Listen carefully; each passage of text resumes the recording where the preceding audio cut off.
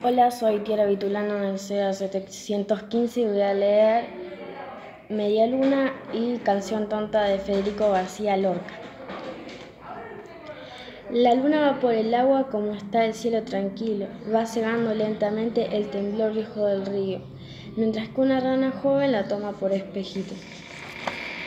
Y ahora canción tonta. Mamá, yo quiero ser de plata. Hijo, tendrás mucho frío. Mamá, yo quiero ser de agua. Hijo, tendrás mucho frío. Mamá, bórdame en tu almohada. Eso sí, ahora mismo.